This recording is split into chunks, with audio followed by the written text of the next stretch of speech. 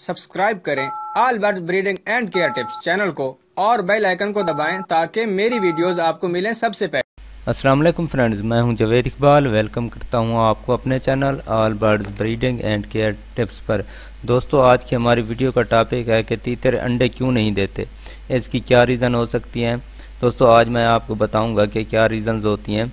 काफ़ी दोस्तों के कमेंट्स आ रहे हैं कि हर दूसरा या तीसरा कमेंट से ही होता है कि हमारे जो तीतर हैं एग्ज़ ले नहीं कर रहे हैं।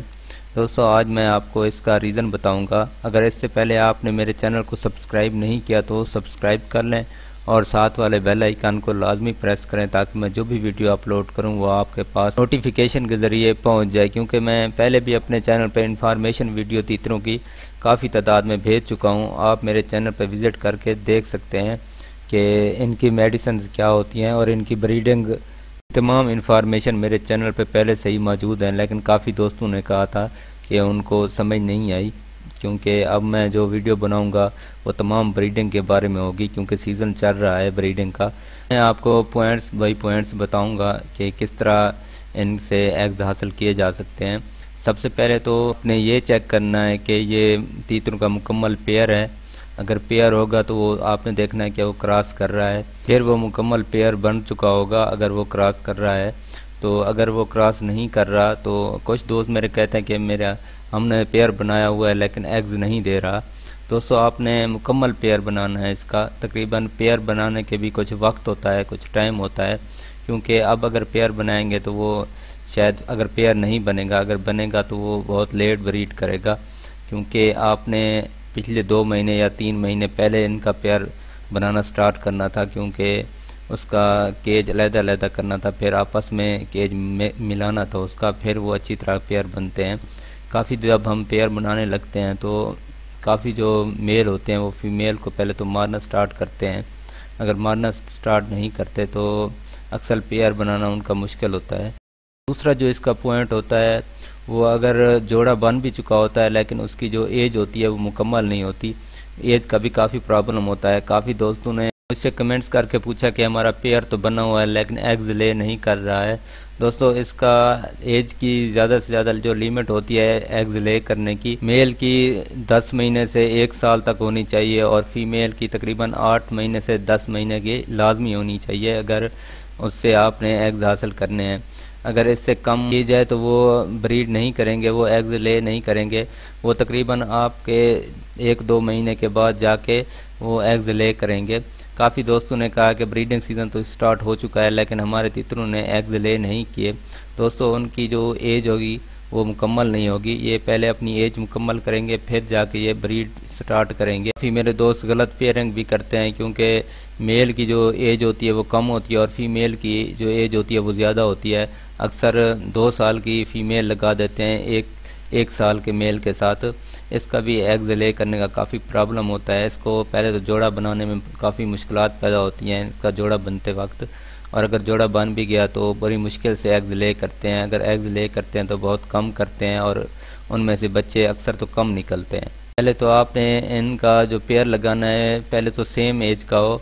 अगर सेम एज का आपको नहीं मिले तो मेल की एज बड़ी होनी चाहिए, तकरीबन दो महीने फीमेल से लाजमी बड़ा होना चाहिए मेल है, फिर ये बहुत ही अच्छी ब्रीड करेंगे।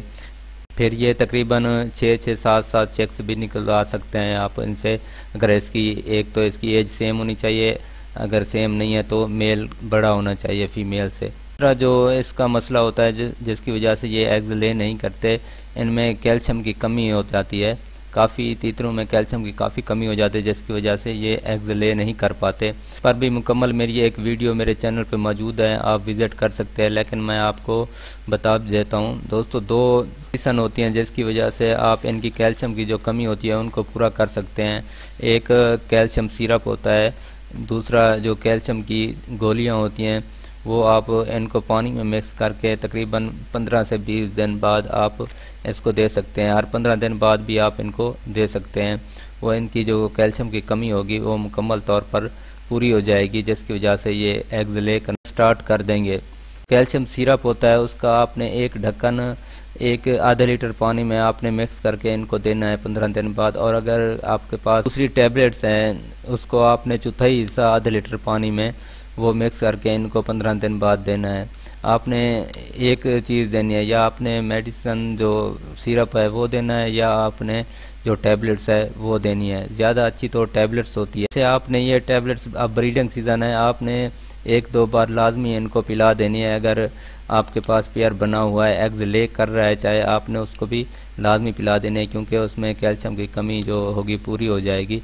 क्योंकि एग्स देने से उन, उसके अंदर कैल्शियम की काफ़ी कमी हो जाती है। दोस्तों, चौथा जो बड़ा हमारा अहम पॉइंट है, वो है इनको जो अकेली जगह पे रखना, किसी कोने वगैरह में इनको अगर आपके पास कोई पेयर बन चुका है, तीतर का तो आपने उसको अलहदा केज देना है और आपने एक कोने में रख देना है ताकि ब्रीडिंग सीज़न में और उसके ऊपर कोई कपड़ा वगैरह बरीक डाल देना है ताकि वो आसानी से क्रॉस कर सकें और किसी से डरे ना। अगर आपने किसी रास्ते वगैरह में रख दिया, जहाँ पे लोगों का गुजर ज़्यादा हो, वहाँ पर ये ज़्यादा ब्रीड नहीं करते या क्रॉस वगैरह नहीं करते। अगर लोग गुजरेंगे तो ये सही तरीके से क्रॉस नहीं कर पाएँगे और उनके जो एग्स होंगे वो अनफर्टाइल होंगे, यानी एग से बहुत कम चेक से निकलेंगे।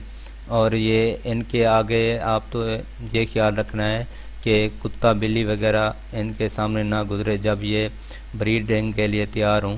अगर इनके सामने कोई कुत्ता या बिल्ली गुजरेगा तो इनकी ब्रीडिंग काफ़ी लेट हो जाएगी।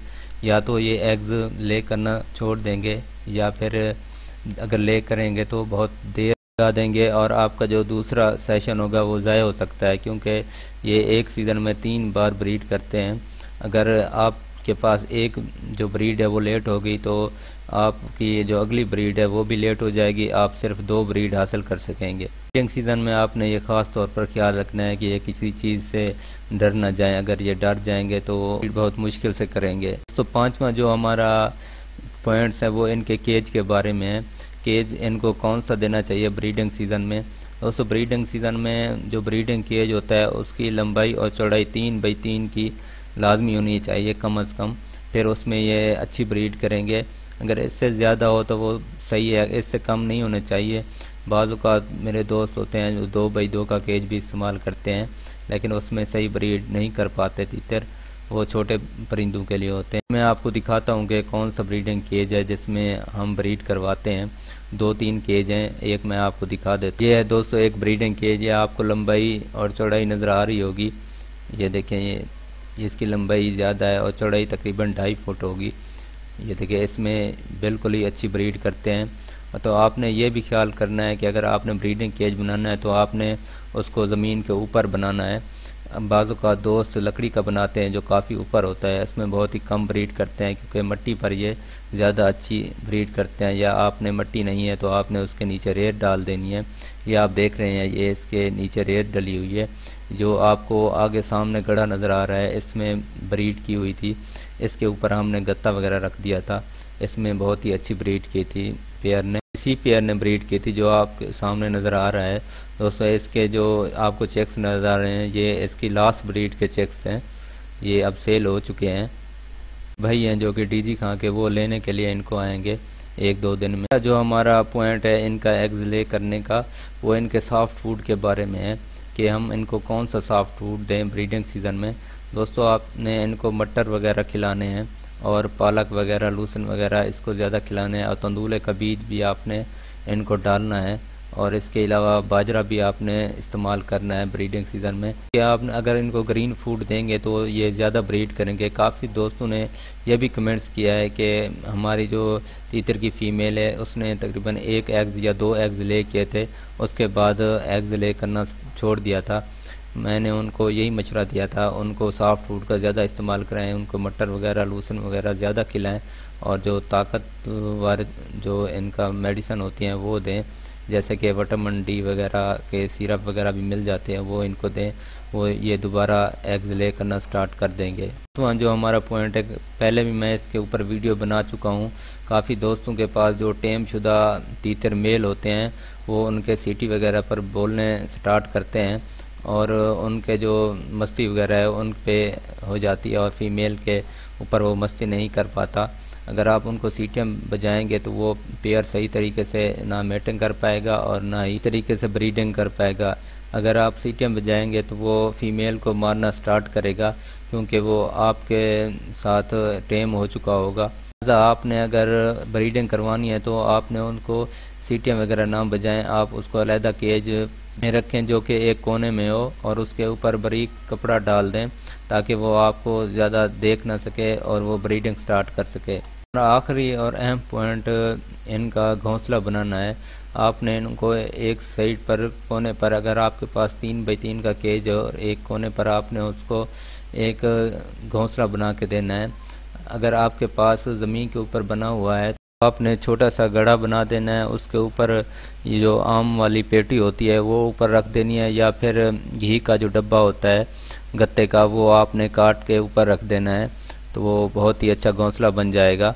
दोस्तों, ये थे कुछ पॉइंट। अगर आप इनके ऊपर अमल करेंगे तो आपके तीतर बहुत ही अच्छी ब्रीड आपको दे सकते हैं, और ब्रीडिंग सीज़न में आप इनसे तीन बार ब्रीड हासिल कर सकते हैं। दोस्तों, अगर मेरी वीडियो आपको पसंद आई हो तो मेरी वीडियो को लाइक करें और मेरे चैनल को सब्सक्राइब करें और बेल आइकान को लाजमी प्रेस करें ताकि मैं जो भी वीडियो अपलोड करूँ, वो आपके पास नोटिफिकेशन के ज़रिए पहुँच जाए। क्योंकि मैं इंफॉर्मेशन पहले भी मेरे चैनल पे तीतरों के बारे में मौजूद है। चाहे इनकी ब्रीडिंग हो, चाहे इनकी मेडिसन हो, तमाम मालूम मेरे चैनल पे मौजूद हैं। आप विज़िट करके देख सकते हैं। दोस्तों, दुआओं में याद रखिएगा, अपना ख्याल रखिएगा। अल्लाह हाफिज़।